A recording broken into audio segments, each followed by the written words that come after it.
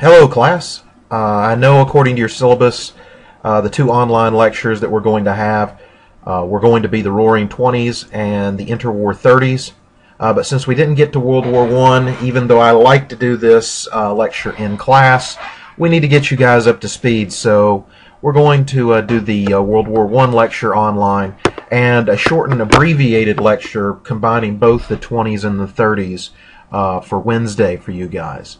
Uh, I will not, of course, be in class because Pellissippi is is off, and because of bureaucracy and everything, they don't want me showing up at South Doyle, and I won't get to see you guys until after your spring break. So uh, you could watch this during the week when I'm supposed to be there, or you can watch this over your spring break if you want.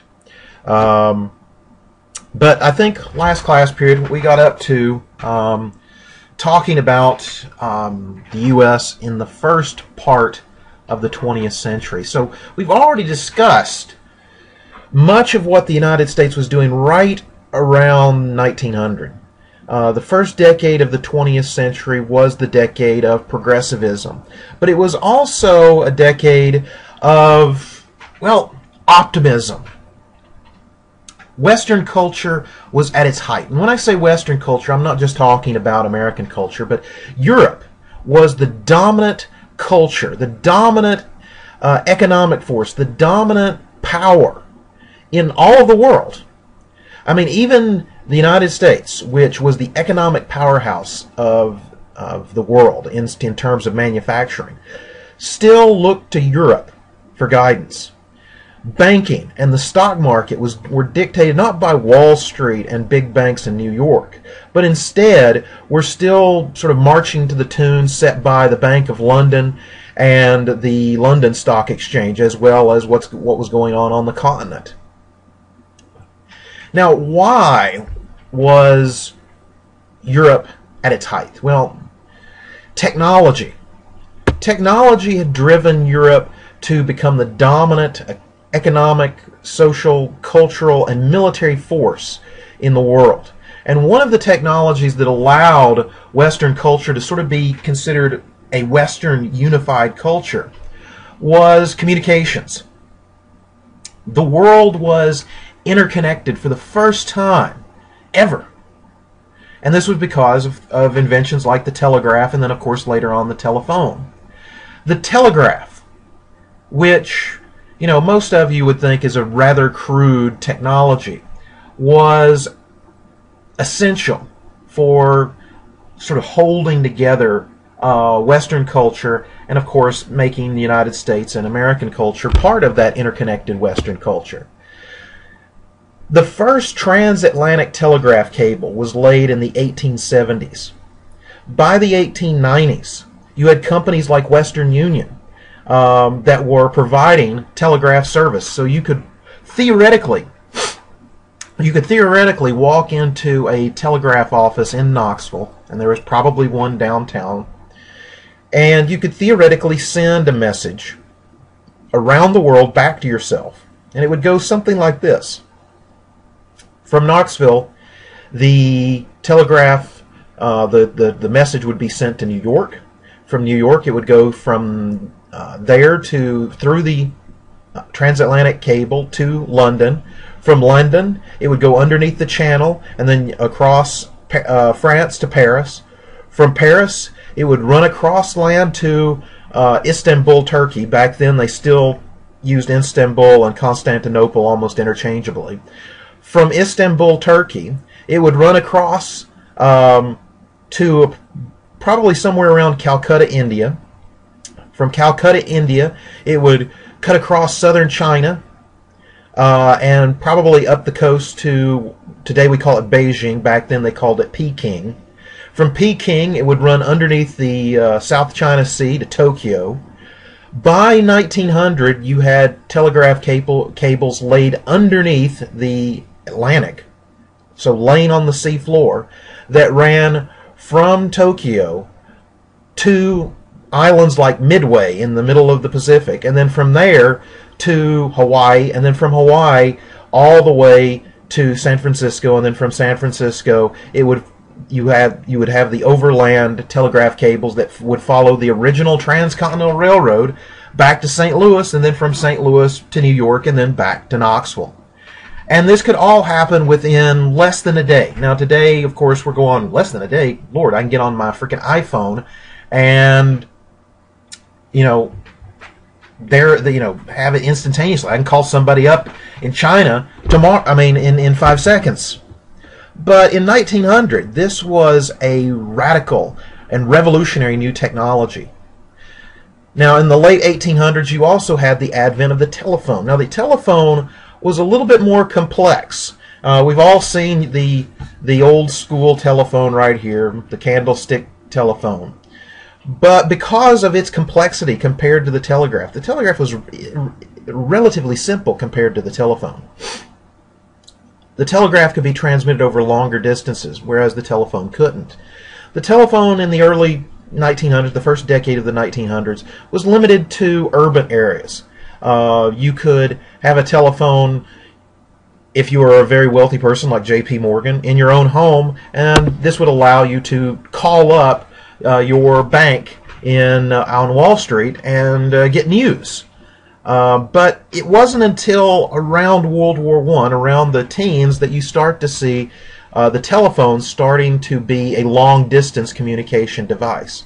Now, both of these technologies as we talked about before, so let's kind of refresh our memory, allow for uh, American culture in particular, but also Western European cultures to become more what you might call unified cultures, uh, national cultures. Nationalism uh, was sweeping the globe at this time, and one of the, the things that helped push this idea of nationalism was common common ideas, common beliefs, common ways of dress, common cultural elements like how your house is decorated. I mean, things that we wouldn't think would play into nationalism do play into nationalism.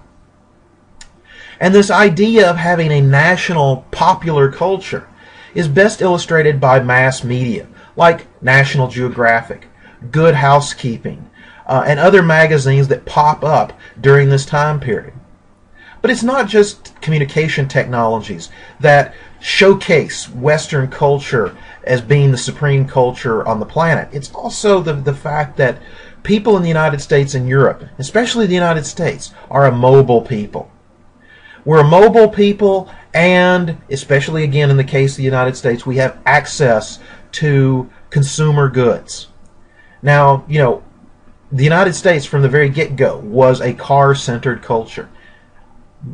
You know, by 1908 you had the first Model T, a car that was cheap enough for your average worker to own. And when Henry Ford introduces mass production in 1913, it lowers the cost by 40% almost and opens the doorway for almost anybody to be able to own one at least one car. But you also have steamships. Now, think about this. How do you get around the world? This is in an era before the airplane is even invented. And of course, cars can't drive on water. So, ships are not only a main form of conveyance, a main form of getting from place to place. They're, they're sort of a mystique to these ships, as we're going to talk about here in a minute. Um, these ships will grow from relatively small steel and iron ships powered by steam to colossal creations of engineering. And this allows uh, people in Western Europe and the United States to travel not only within their countries, not only travel uh, where the railroads can take them, but to travel where there aren't aren't any roads. I mean, the Model T, while it looks very fragile, was a very tough little car and they you know these things went all over the place and ships would allow people in increasing numbers and not just the rich to travel the world. Now the ease of uh, production and the fact that more and more stuff is being created at this time means that the world is or at least the united states is becoming a, a, a middle class world. A world where instead of having a few incredibly well made items, you have pretty good made items, but a lot of them made at a cheap price. And this is best illustrated by the department store. Places like Macy's and Sears Roebuck's uh, mail order catalogs, where you could order or buy almost anything. And all of this, whether it be technological improvement, transportation improvement, or consumerism, was made possible by economies that were growing at rates that had been unheard of before this, and sadly, we haven't experienced really since the, this time. And so, the United States, and the American people, were caught up in this idea of, of scientific optimism that the world, the Western world, was at its height and it was only going to get higher. It was only going to improve. And this was based on a belief in science. Science had, had come to the rescue of Western society. Uh, medicine, for example, had increased the lifespan because during the late 1800s, the chemical industry had come up with new drugs, like, for example, Bayer aspirin. Researchers had come up with new theories, like germ theory, that disease was caused by little bitty organisms. And that if you kill these little bitty organisms, germs, you can stave off infection. You can make make procedures that up until this time were incredibly risky and almost more deadly than what they were aimed to fix possible. I'm talking about surgery. I'm talking about being able to do surgical procedures to remove cancers, to fix uh, damaged organs, uh, to fix fix uh, massive injuries. Most soldiers in the Civil War, for example, died from post injury infection rather than from the injuries themselves. Science and medicine offered a reprieve from this. The chemis- chemical industry also provided us with, well, fuels. I mean, think about this. Almost everything that you deal with today, you can thank the chemical industry for good or bad. The gas that you put in your car comes from the chemical refining of, of petroleum.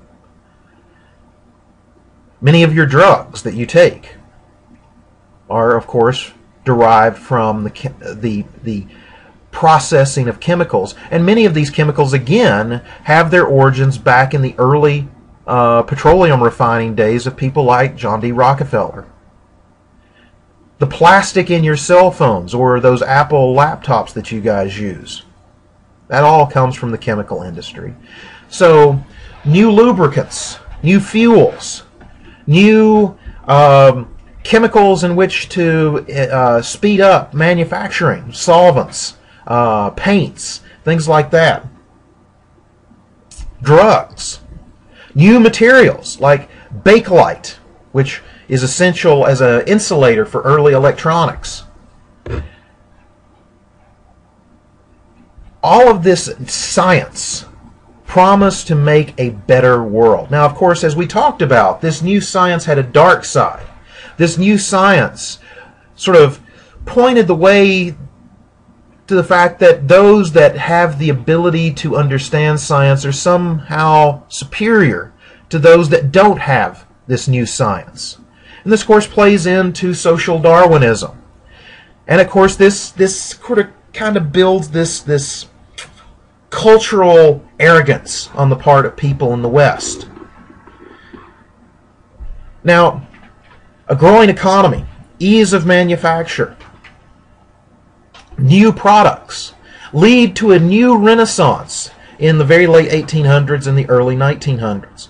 We see a revival in art and architecture, if you looked at many of the houses built during this time, even the even middle class houses, they are incredibly frilly, if you will. Now, one of the big things that uh, comes out out of this new Renaissance is the concept concept of leisure time. How many of you have taken a vacation?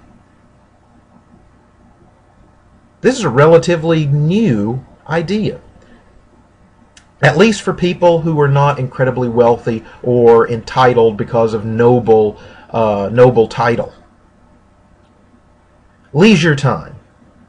The fact that by the first decade of the 20th century, people in the upper middle class, the middle middle class, and even the lower middle class could take off.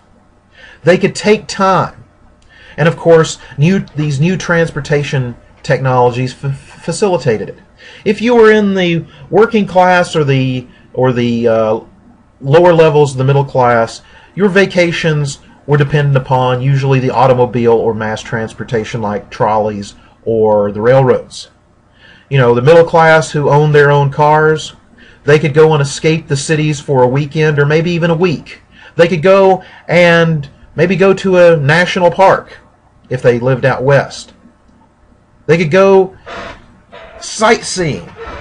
They could go to Coney Island on the coast. They could go to Atlantic City. They could go traveling to places like Nags Head, North Carolina, just to get away from the hustle and bustle of the city. Now, if you were from the upper middle class or from the elite levels of the upper class, you could travel farther than that. You could afford a ticket on these classic steamships like these right here. Families from the upper middle class and the the upper class itself, the elite upper class, would often send their children on what they termed holiday. You often hear about Europeans going on holiday. Well, holiday was a rather expensive adventure. Um, this is why it was normally limited to the upper middle class and the upper elite classes. Holiday basically was if you were in if you were in Europe, you would travel to the colonies, the the one of the main destinations for Europeans, especially the British, was Asia, the the exotic uh, Orient, as they called it. Uh, if you were in if you were a British subject, you would often go to India and experience the exotic nature of the Indian subcontinent. Many times, Europeans would travel to the United States and see, you know, our Old West. They would travel around the United States. Americans, by contrast, would oftentimes travel to Europe. Now, if you were from the upper classes, you could afford a multi, uh, multi-room suite. But if you were from the middle to upper middle classes going on holiday, normally you got a second class ticket. A second class ticket entitled you to a room with a, uh, a sink in it. And it was built like kind of like a dorm room where you had your own private bedroom with its sink. And then you shared a bath with an identical mirror image room on the other side. Now, of course, these ships also carried third class or steerage passengers. Usually these people were not going on holiday. Usually these people were immigrating. Um, and these people were, uh, you know, a third class steerage, uh, third class steerage ticket uh, was relatively cheap, but it only entitled you to a room that may have six to eight beds in it, and each deck had its own bathroom. So you're sharing uh, a bathroom not with the room next door, not having a bathroom of your own like the uh, the upper class or the first class passengers. Uh, you had to share it with 20, 40 other people. Now, the interesting irony of this is that the real, the people who really paid for these opulent ships were not the first class passengers. They really were not the second class passengers. It was the third class passengers because even though their their tickets per ticket were cheap, the, the the the the huge numbers that these ships carried were what really paid the gas bill, if you will. Now, how many of you have seen the movie Titanic? While it's a sappy love story, in my opinion, James Cameron, Cameron the producer and director, did an excellent job of recreating uh, Western culture at the time of the sinking, which was 1912. Now, if you guys can remember this movie, you have Billy Zane's character, uh, a nouveau rich American, a man who's just made his money. And of course, he's very arrogant about it. When he ha- he and his new wife Rose uh, uh, pull up next to the Titanic, um, Billy Zane's character says, "Not even God Himself could sink this ship." Because of this optimism in science and engineering and technology. Now, Rose, of course, is like, I don't see any difference from Mauretania, another ship. And of course, Billy Zane's character is like, well, Mauretania is not as opulent. Titanic's 40% larger. And he was right. The class of ships that Titanic was part of, it was known as the Olympic class. The first ship in the class was known as Olympic, the second class was Titanic, and the third class was Britannic. These ships were bigger than any ship built by about 40%, so they were almost half as long as any previous ship. Now, this pushed this new technology to its limit, and one reason why Titanic sank as quickly as she did was because the ship had to be designed with certain cushions, expansion joints. If you guys ever drive on a bridge and you feel ba-boom, ba-boom, Ba-boom. Well, those are expansion joints. Because a bridge has to have some leeway. It has to be able to expand. It be, has to be able to move a little bit because if it's just solid, completely solid, the stresses on it will cause it to crack. The same is true for large ships. They've got to be able to adjust. The problem is Titanic's expansion joints were the first of their kind and the design failed. So this idea of the ship coming way out of the water and then breaking, well, it's been proven false in recent years. The ship probably barely got out of the water, its its aft end, its ass, before breaking, and it broke at that expansion joint. So the technology failed those, you know, those Europeans and Americans riding on the Titanic, and a good portion of its of its passengers died as a result. Now, not even the Titanic disaster could dampen uh, the sort of optimism of this time period. And we're going to see how this optimism uh, plays into the catastrophe of, of World War I. Now, one of the things that I would like to point out is if you've not already guessed, one of these ships is Titanic. This one, right here.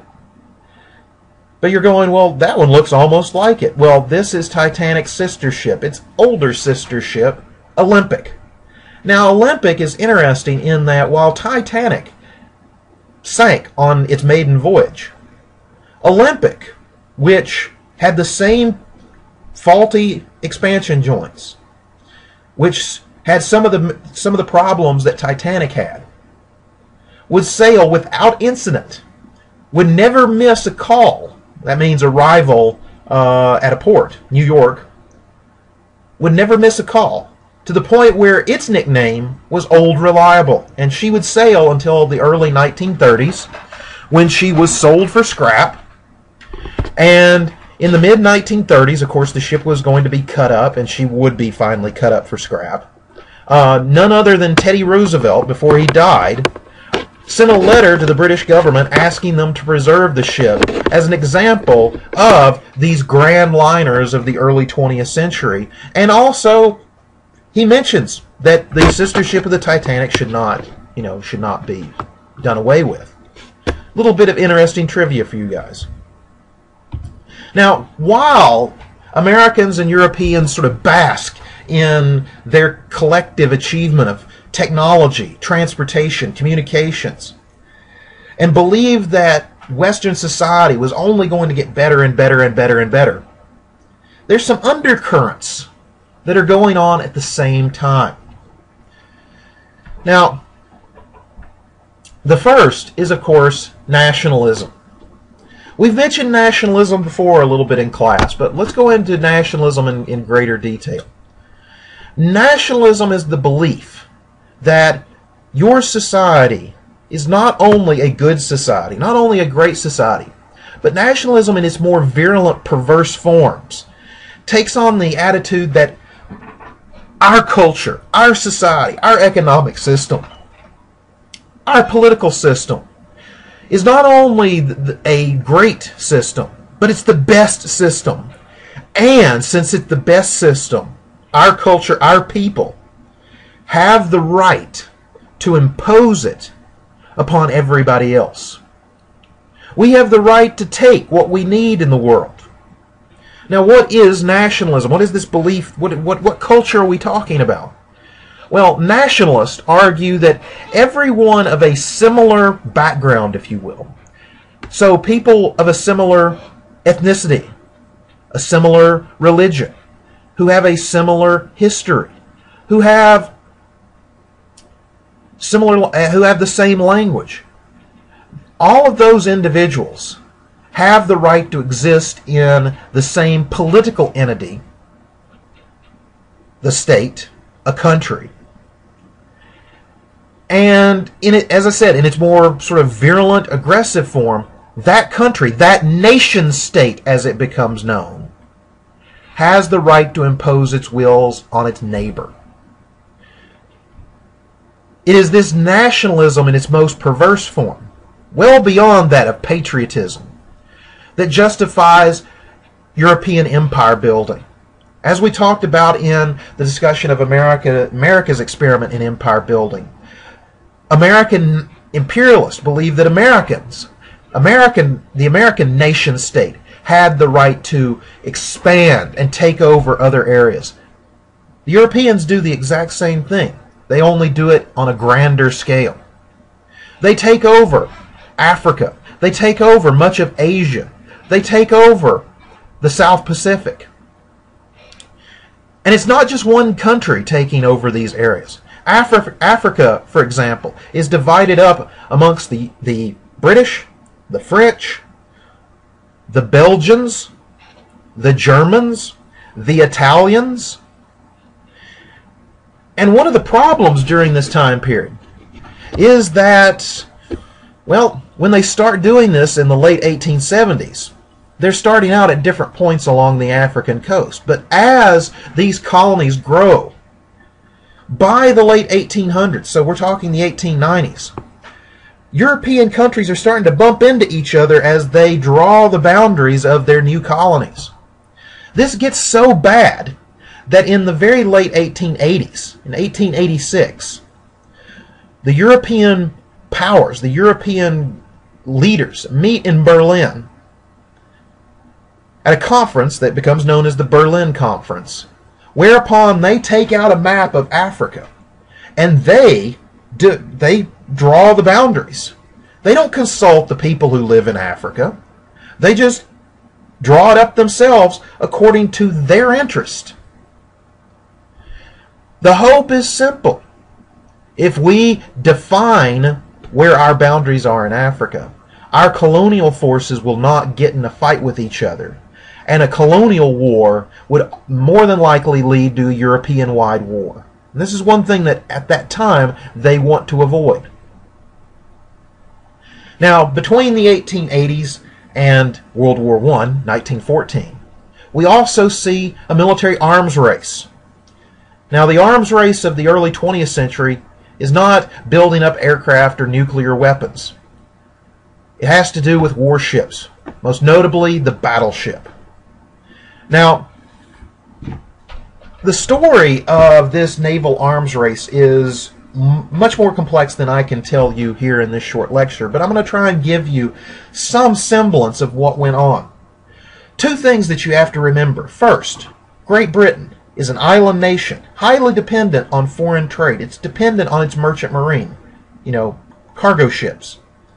It has a huge navy the Royal Navy, in order to support its merchant marine, but also support its vast, far flung empire. Now, Germany, on the other hand, is a recently assembled, a recently uh, a, a country that has just recently come into being.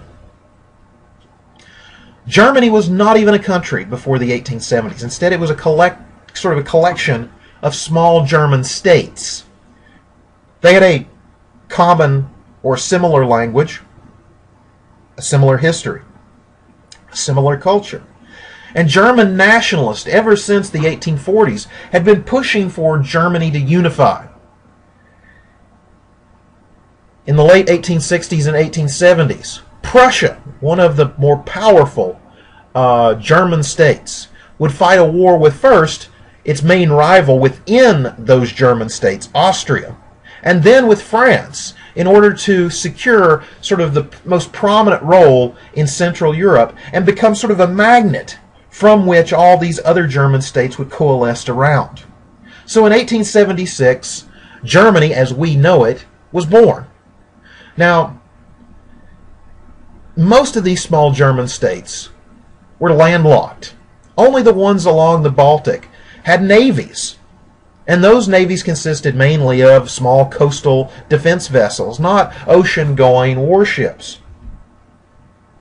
However, the new Kaiser, who comes to power in the very late 1890s, the son of the Kaiser of Prussia, who would become the first Kaiser of Germany, Wilhelm I. Well, his son, Wilhelm II, is a, well, a fan of the Navy.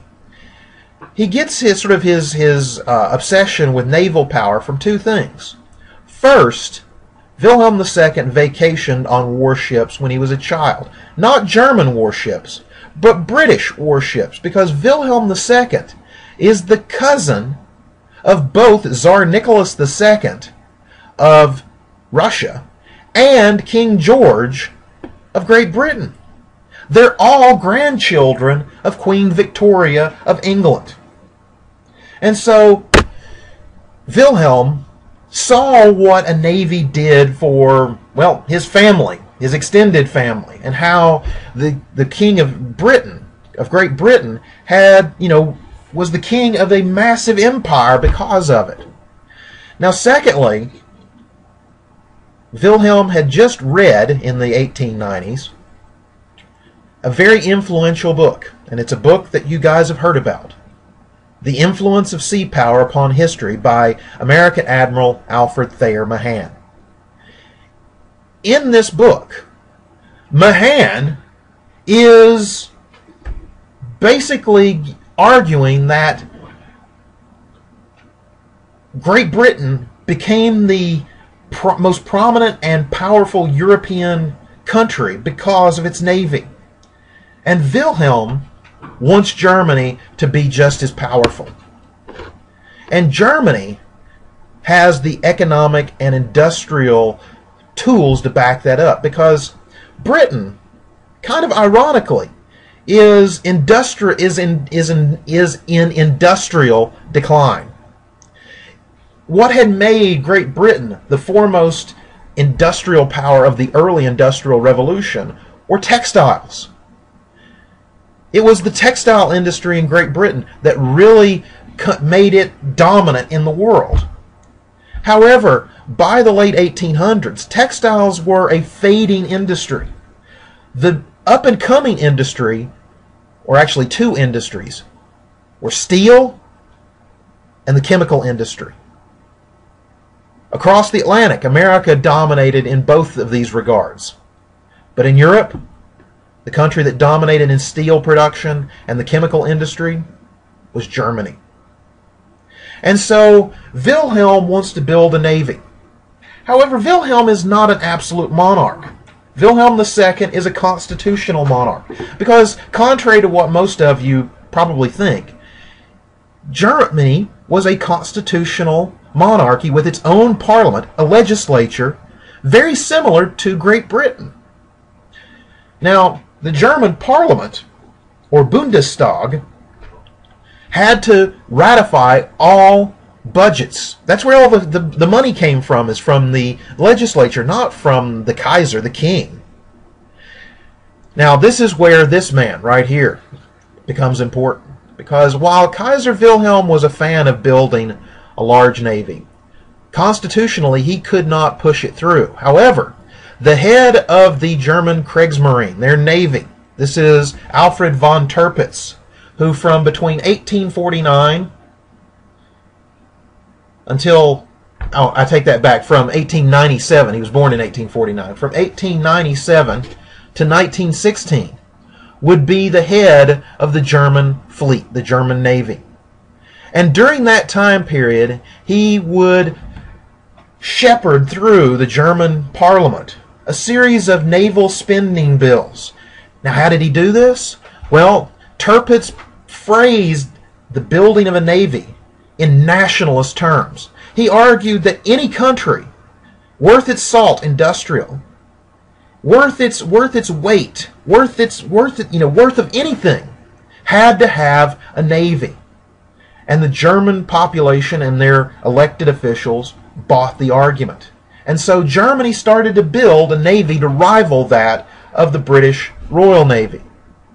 Now, here's where history is very ironic. Because Wilhelm here, being kin to the British monarchs, believed that in building a large fleet, Germany would prove itself a worthy ally to Britain, and that the Anglo Saxon people, the Germans and the English, would come to dominate not only Europe, but the world. Now, what Wilhelm and other German leaders failed to realize was that, well, England's an island nation. Their navy is spread out around the world, guarding the sea lanes, guarding these far flung colonies. Germany, being a relatively relative newcomer to Europe, you know, to the modern world, has a very small empire. Its empire is only about one fifth or one fourth the size of the British Empire. So most of its fleet is not going to be spread out all over the world. Instead, it's going to be located just a thousand miles or less from Great Britain at the major naval bases for Germany, Kiel, Wilhelmshaven, and Cologne. No, not Cologne. Let's see, Wilhelmshaven.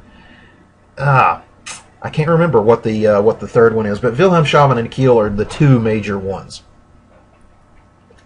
And of course, the British react accordingly. The British react by thinking that this is a threat to their own national security, and they start building more ships.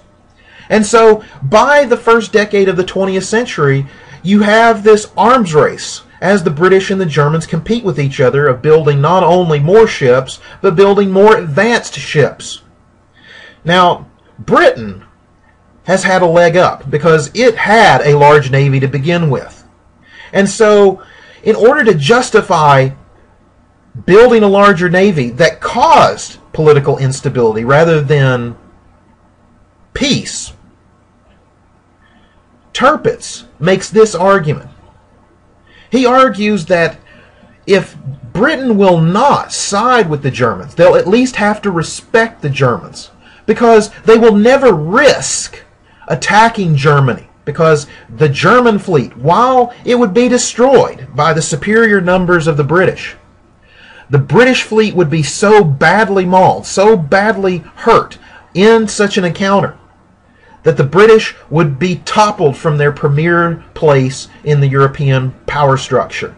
And thus, not wanting to risk their own fleet against this German risk fleet, as he calls it, the British would instead negotiate and work with the Germans. How wrong, how wrong Tirpitz would turn out to be. Because in 1905 1906, the British upped the ante. They build this ship. This is HMS Dreadnought.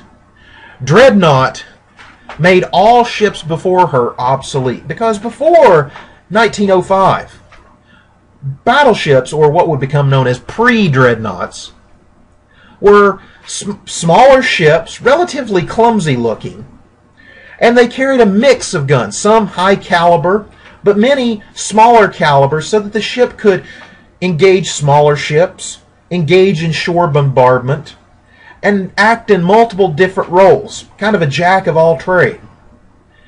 Dreadnought was built to be sleek, fast, highly maneuverable, and only carried large caliber guns, initially 12 inches in diameter, and by World War I, the standard caliber would jump up to 14 and then 16 inches. This ship had one job and one job only. She was a ship killer. thus making all of the warships, all the battleships before her, obsolete. Now, of course, the Germans and other countries like the United States would follow in kind, building their own dreadnoughts. This, of course, only heightens the tension between the country the countries.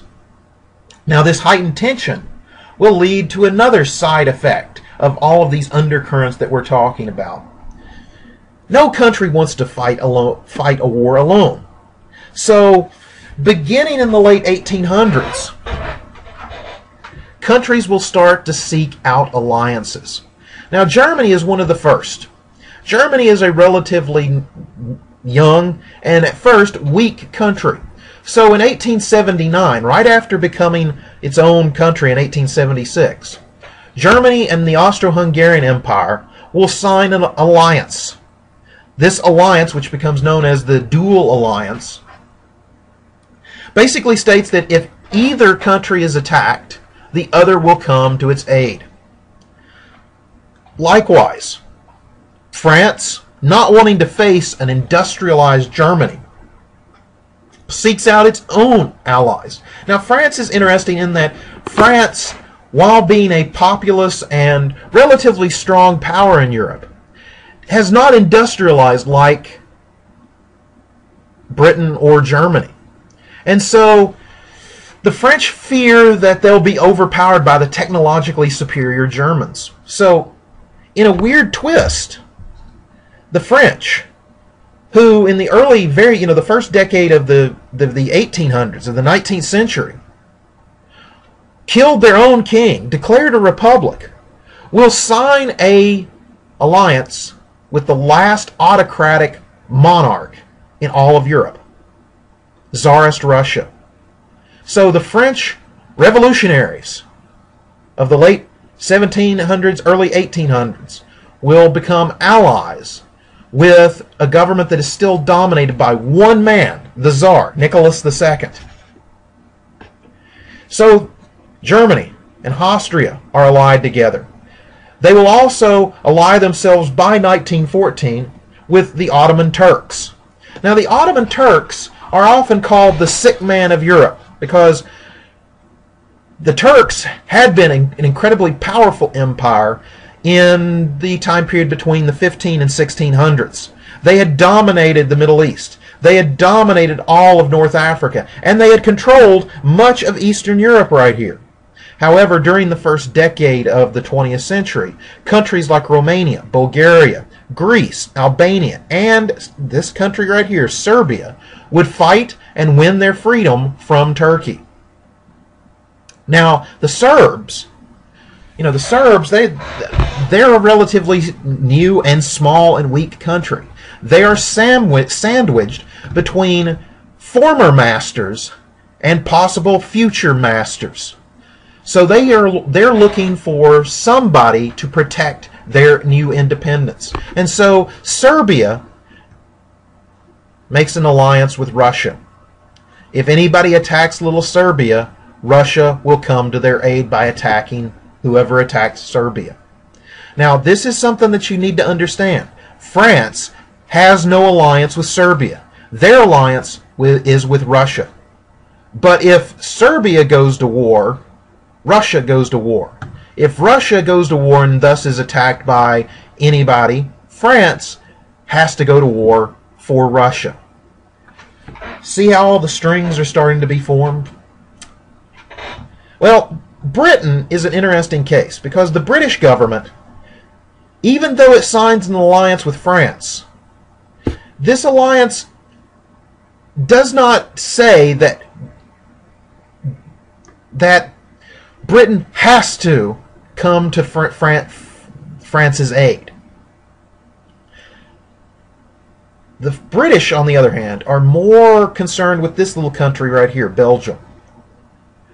Because Belgium wants to be neutral. The Belgian government wants to maintain the neutrality of their country. And so, Belgian representatives meet with the British government to secure a guarantee of neutrality. The British promise to go to war if anybody invades Belgium. Now, the Belgians will not go to war if somebody attacks Britain. So what does Britain get out of this? Britain gets the neutrality of Belgium. Because think about it. If you're Britain, an island country, you don't want anybody really close to you. And so the British want to keep this area of Europe, northern France and Belgium, as friendly as possible. They do not want to see, say, a hostile German army march into Belgium and into northern France because it's only a couple of miles from here, the Pas de Calais, to the cliffs of Dover. That's what the British are wanting to secure. So we have nationalism. Nationalism running wild, where you have British, French, Germans, all of these indiv- all of these these populations believing that their country, their nation state, their national people, all within one state, so a nation state, are the best out there and they should be supreme. You have these colonial disputes as all of these nation states are trying to divide up the world. You have a military buildup, an arms race, so they got more guns to kill each other with.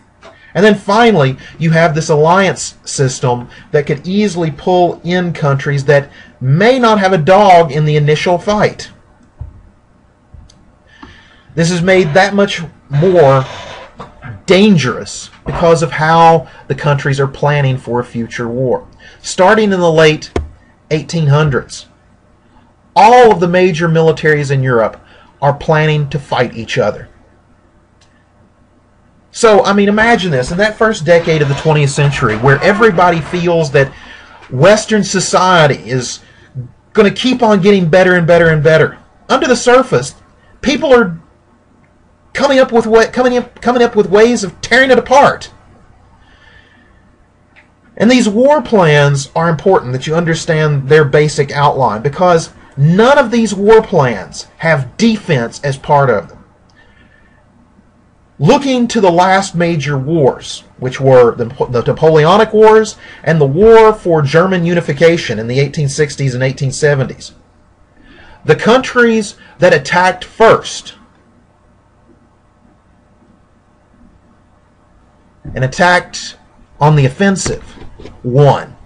So all of the war plans, whether it be British, Russian, but especially the French and the Germans, they are they are centered on offensive action. So regardless of what happens, you go on the offensive. You attack somebody. Now the Germans. The German plan is created by the head of the German uh, uh, general staff, a fellow by the name of Otto von Schlieffen. Schlieffen understood that Germany, while being a powerful new country industrially, was weak. And it was stuck in the center of Europe, which meant it had enemies on both sides. France, you know, had the benefit of, well, having enemies on one side and then an ocean on the other. The Russians, vast space. The Germans, they're located in the relative, relatively small confines of Germany, with France on one side and the behemoth of Russia on the other. So Schlieffen comes up with a plan. Understanding that the Russians and the French might ally, which they actually would in the future, Schlieffen comes up with the plan that regardless of who attacks, you attack France first. So, theoretically, if Russia attacked, you still attack France first. Why? Well, Russia is technologically backward at this time. If you looked at a map of Europe, let's look at a map of Europe. Germany is a spider web of railroads. So is France. But Russia only around St. Petersburg and Moscow, with very few in this area almost none back here. Russia in the late 1800s, most of its industrial goods do not, you know, do not come from Russia itself. Instead, most of the Russian rifles, the famed Mosin Nagants, are originally built in Paris, France. I know this for a fact because I have a friend who who she has an old Mosin Nagant made in 1896, I believe, and the armory is in France. So the Schlieffen Plan calls for, simply put, a German thrust into France, through Belgium, and around Paris. Once Paris is captured, the French would sue for peace, that's the plan, and that the Germans then could turn their military around, use their superior railroad network, and move their troops back to the German, Russian, well, Polish border right here, so that they could face the huge juggernaut of Russia. Russia has plenty of men. It just can't mobilize them that fast. Now, the French also have a plan. It calls for immediate offensive action if war comes. Now, the French, they've lost two of their, well, they've lost two provinces. These two provinces have been in dispute between France and the German states ever since the time of Charlemagne in the 700s. They're Alsace and Lorraine. In the 1870s, when Germany goes to war with France, not only do you know do the Prussians, Prussia's right here, not only do the Prussians defeat France, but they cut off Alsace and Lorraine and make them part of the Second Reich, the Greater Germany. France, of course, wants them back. And so their plan is simple to attack directly into these provinces, seizing them, and then directly on to Berlin, ending the war. To understand the importance of these plans, you have to understand that these plans, in order for them to work, have to be incredibly detailed. In order for these militaries to, to operate efficiently, their planners believe that lower level officers have to have detailed plans to follow down to the minute because there are no radios. Wire communication like telegraph, well, possibly would not work. And so, in order for troops to know where they're supposed to be, they need to be told where they're supposed to be, minute by minute, hour by hour. And so, what does this mean? This means that you have created an organizational machine. The Schlieffen Plan, for example, is something that all you need to do is flick the switch. That once this plan is initiated, the decision making process is removed from the Kaiser. It's removed from the German Bundestag. It's removed from even some of the highest levels of the military. Instead, this is a plan that is self perpetuating and cannot be easily stopped. So, we have this powder keg. What's the match? What's the match that lights it? Well, the trigger is the assassination of this man right here. This is Archduke Francis Ferdinand of the House of Austria. He is part of the ruling family that the Emperor of Austria is from, the Habsburgs. Now, Francis Ferdinand is an interesting character in that he's not very popular in the Austrian capital because Ferdinand advocates greater autonomy to the minorities within the Austro Hungarian Empire. This is not a popular view for him to hold, and as such, he is basically run out of the capital and he's forced to go on a fact finding tour uh, throughout the very minority regions that he has been advocating for. One of them is the region of Bosnia. Now, Bosnia, which, to go back here on the map, is located right here. This is Bosnia. Bosnia is an ethnically mixed area of the Balkans, of southeastern Europe.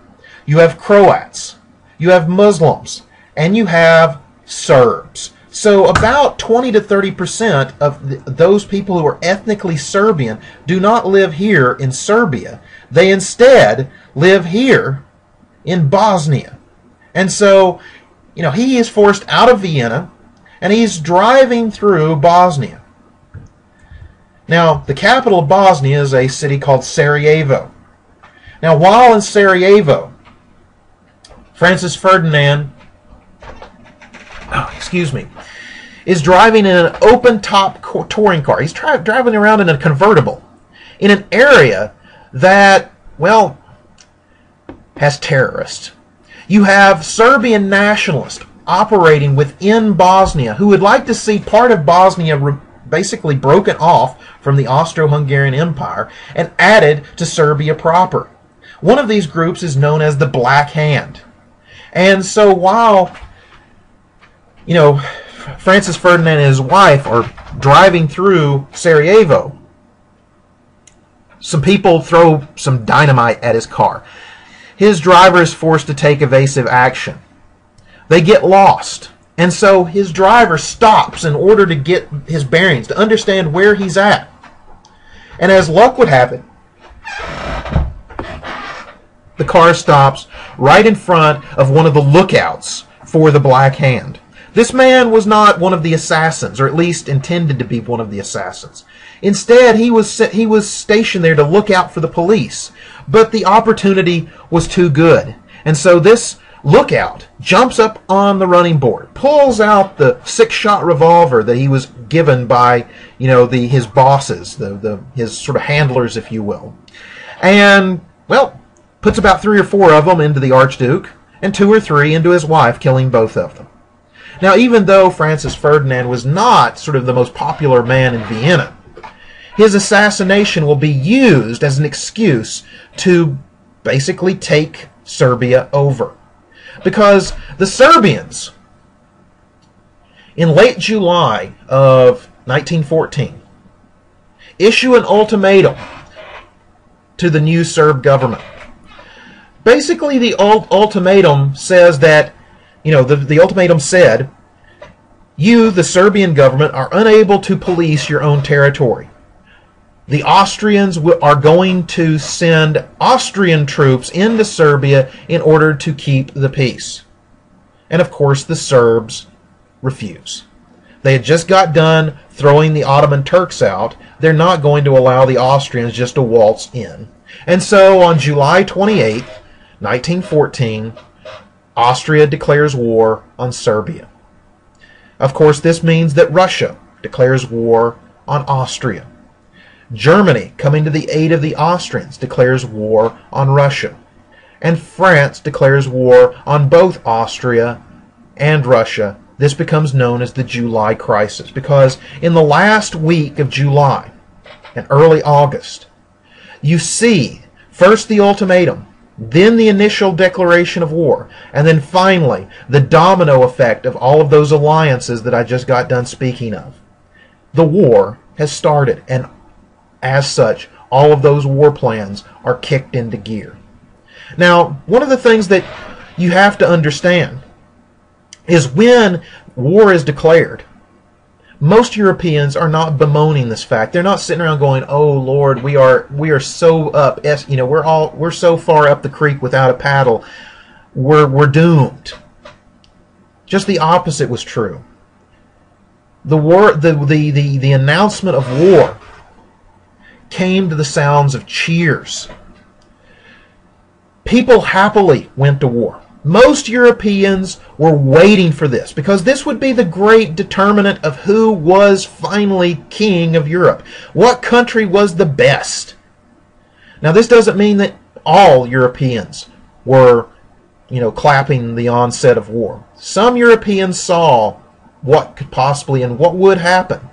One of them was a fellow who worked for the British Foreign Office, their version of the State Department. And he wrote uh, to all of the colonies, all of the, the, the, the governors. And how he phrased this was the lights go out are going out across Europe. I fear they will not be they will not come back on in our lifetime. Because this person basically is saying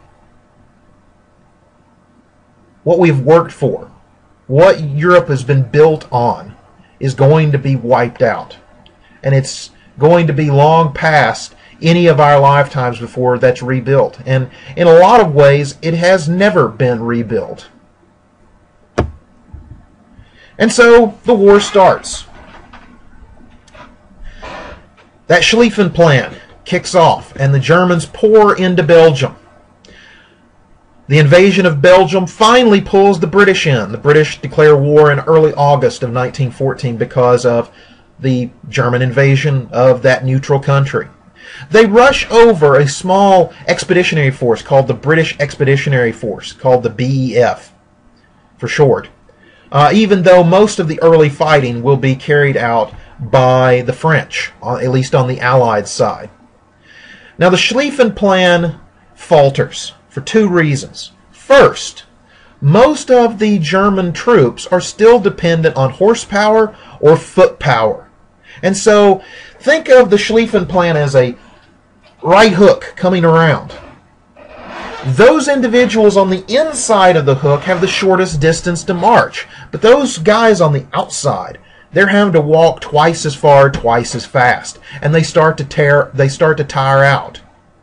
And so the hook starts to kind of swing in. Likewise, the French, who are mobilizing here around Paris, will use the modern technologies given to Western society by the Industrial Revolution to help blunt this right hook. Now, it's not a technology that the military has. It's a technology that they borrow from the civilian sector because Paris taxis will be commandeered and the drivers will drive troops out of Paris to the battlefront here along the Marne River. This becomes known as the miracle of the Marne because if you look, you can actually look this up on YouTube. You see these old silent films of these taxis running out of Paris. They look kind of like Model Ts, even though they're built by Renault or other French manufacturers, but they're of that same design.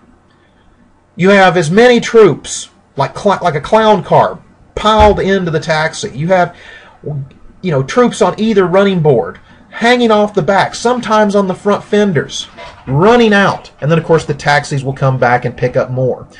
This allows the French military to get into position faster than the Germans anticipated. And they blunt that right hook as it comes out of Germany through Belgium. And instead of swinging around Paris, it swings this way, in front of Paris, along the Marne River. That first battle the Germans lose it. Now, the French will, of course, counterattack. Think of the, the you know, the counterattacks as trying to get around the, the flanks, if you will, of the enemy. They're following the old tactics as outlined by Napoleon a century before of maneuver, of trying to gain a, a victory so that you can get behind your enemy to force them to surrender and, of course, win the war. The problem is these counterattacks fail. So you have a French counterattack, it fails. Then you have a German counterattack, it fails. A French, a German, a French. The same up here. A German, a French, a German, a French, a German, a French. This becomes known as the race to the sea because literally going this direction, these attacks will continue until they run out of Europe to fight on. Likewise, they'll follow a similar course until they run into the border with neutral Switzerland. Now, when these attacks fail, what do the armies do? Well, they start to dig in. Initially, it's small, you know, personal foxholes.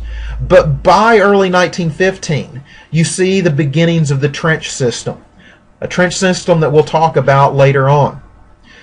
By 1916, you could enter this trench system at the French Swiss border and walk its full length all the way to the North Sea without your head ever being above ground level. Again, we'll talk about the complexity of the, of the trenches at another time. Now, both the Allies, the British and the French, and the Germans had anticipated a quick, a quick war on the Western Front. They had planned this war to be over. The problem is it doesn't end as fast as they planned for it to. So they had all these guns, all of these this artillery, but they start running out of ammunition. Now, before I talk about the shell crisis, I almost forgot one reason why these counterattacks fail. It's technology. Here we have a British Vickers gun and a British field howitzer. Below we have a German howitzer, or probably a 155 howitzer, and the German Maxim gun. The reason why these flanking attacks that occurred during the race to the sea failed is because attackers had to first attack across open ground where the opposing side dropped artillery from these guns on top of them at long distances. Remember, these plans set forth before the war had assumed that, you know, had sort of taken into account the technology of Napoleon. Napoleon had the same technology of the Civil War, where guns were literally firing into the face of onrushing uh, attackers. These guns can fire three, four, and sometimes five times the distance, all the way to and even beyond the horizon. So troops have to face a longer distance being under artillery fire. Once they're within firing distance of the enemy trenches or enemy positions themselves, they have to face this something that previous European wars, European armies had not faced automatic weapons. So you're approaching the German position if you are a, French uh, infantryman and you face a Maxim gun spitting out approximately 450 rounds a minute. Or if you're a German attacking a British position, you face this, the Vickers gun, which fired at approximately 500 rounds per minute. And they could fire almost continuously, just stopping long enough to put a new feed belt, new ammunition belt into the gun. The reason why? These things are water cooled. That big round tube right there, that is a water jacket. And as long as you keep water on that barrel, it will stay cool and fire almost continuously. You don't have to stop and let it cool down or even fire and burst. You can hold the trigger down and just let it go.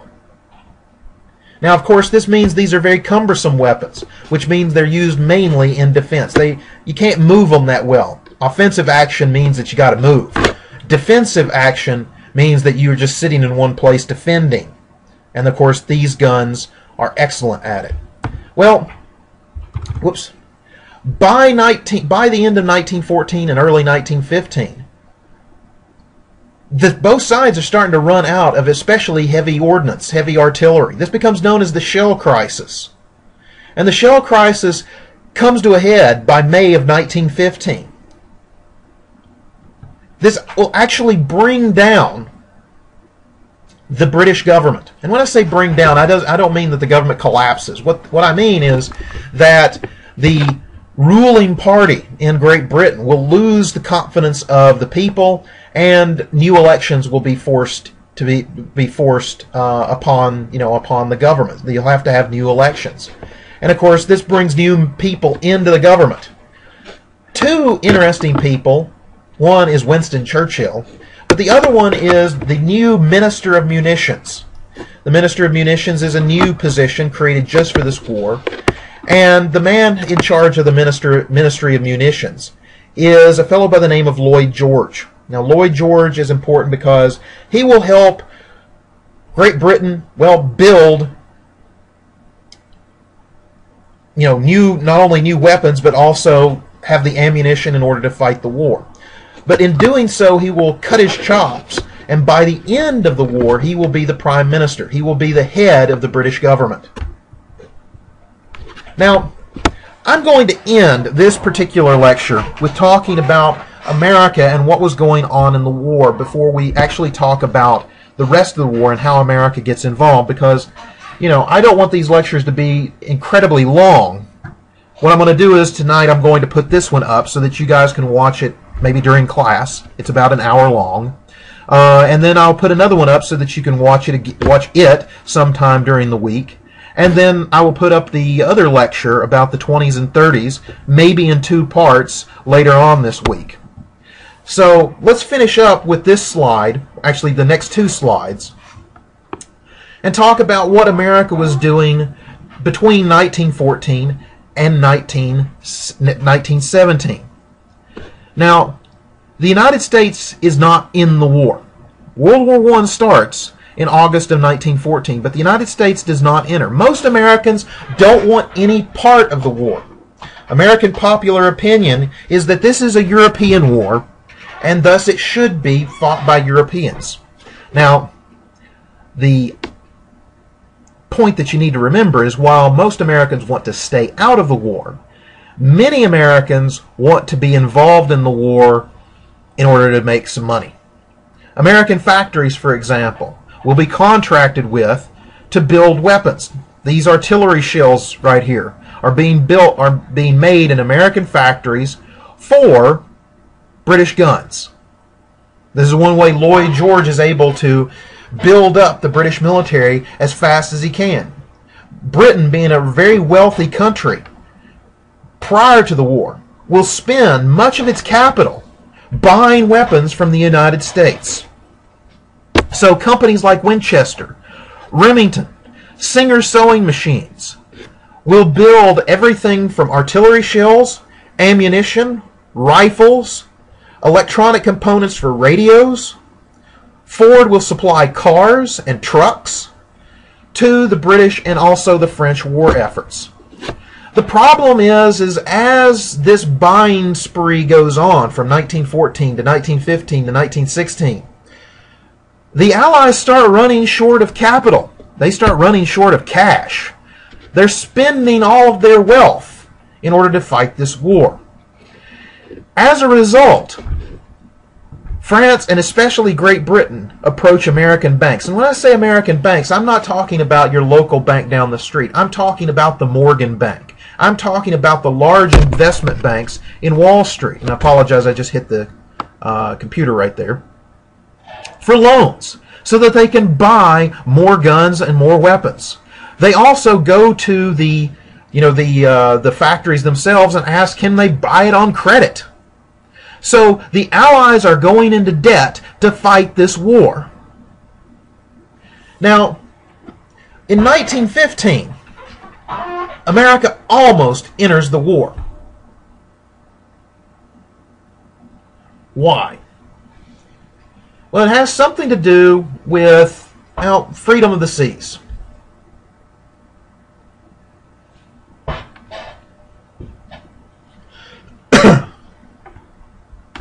In 1915, the British liner Lusitania, this is a British liner, and again, there I hit the, the uh, screen again. The British liner Lusitania is torpedoed and sunk by a German U-boat, an Unter the Sea boat. Yes, that's it, what U-boat stands for. It stands for under the sea boat.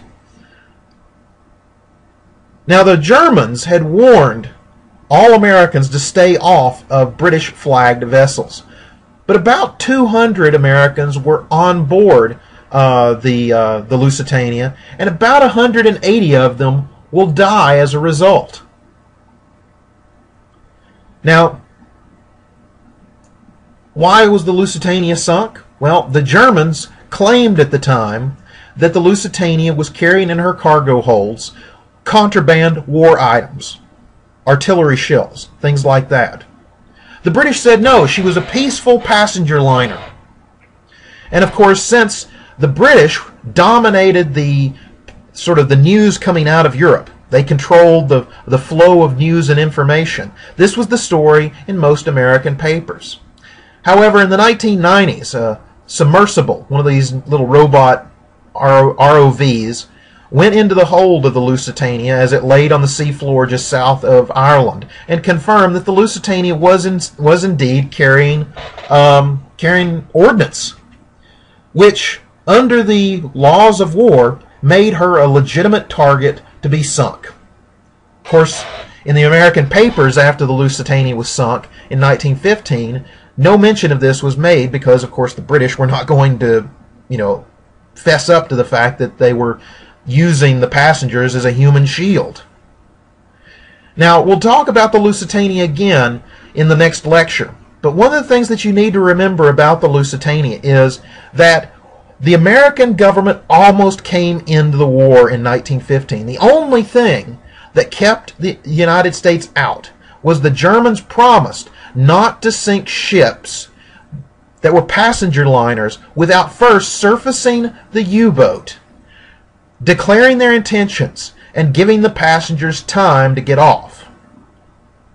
Of course, this meant that the U-boat would be vulnerable, and it defeated defeats the the the main strength of a submarine, which is stealth, being able to strike without anybody knowing you ever were, were there in the first place. At the same time, Americans are watching, not on TV, but instead in their minds as they read newspapers, watching what's going on in Europe.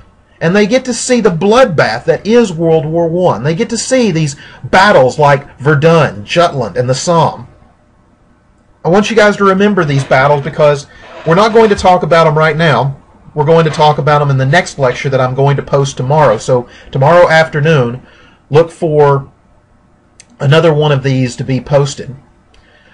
But Americans are getting to see this. And on the one hand, some Americans are starting to say, we've got to get involved because this is a terrible tragedy. On the other side, you have many Americans saying, no, we don't want to get involved in this because look at the brutality, look at the death, look at the destruction. And one of the big reasons why many Americans don't want to get involved in the war is this.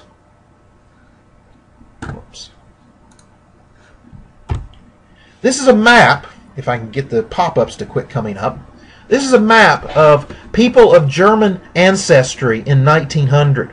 Those areas in dark blue are there are those where you have a thousand people or over per county. People of German descent are the most numerous people in the United States today, and they were even more prominent back in 1900 to 1910. So many Americans, while they fled to get away from the German political system, still did not want to fight in a war where they could possibly be be fighting on the side of you know again well fighting on the not on the side fighting against extended family members. Fighting against people that they still knew. And this is one reason why Americans wanted to stay out of the war now next class period as I said I'm going to end this lecture right here because right here, I think I've been lecturing for, yeah, about uh, an hour and five minutes. We're going to talk about Verdun. We're going to talk about Jutland. We're going to talk about the Somme. We're going to talk about the trenches themselves. And then we're going to talk about why America got involved in this giant calamity and this, in, this increasing bloodbath of, of human suffering and human misery. And then, of course, we will end that lecture talking with the outcome of World War One and how it really didn't fit into what you know the reasons why America got involved in the war in the first place. So I'm going to end this lecture right here, and we'll pick it pick this up again. Um, again, look for uh, the second half of this lecture sometime on Monday afternoon, and I will see you guys. Well, I won't see you guys, but you will see me uh, then. I won't see you for another well, almost two weeks. I hope you enjoyed this lecture and hopefully you will remember what we've talked about in this lecture because next lecture we'll be talking about the war and talking explicitly about America's involvement in the war. I will talk to you guys later. Peace out.